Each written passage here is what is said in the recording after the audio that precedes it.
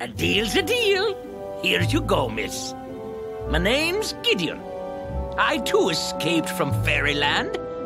I was hunted just because I'd never bow to no king. I know the witch wants to bring the elf king here. I suggest you run. Run far and run fast.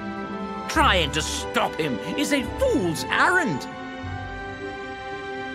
I tried to tell the lot upstairs to run, but they're too scared to.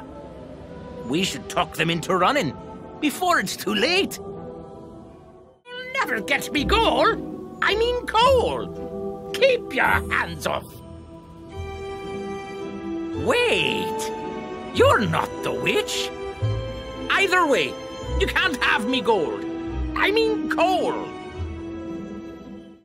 You got me. It's gold, not coal. Listen, I overheard you and the pig downstairs. How about you give me a gold coin, and I give you that nose ring the pig's been moping about?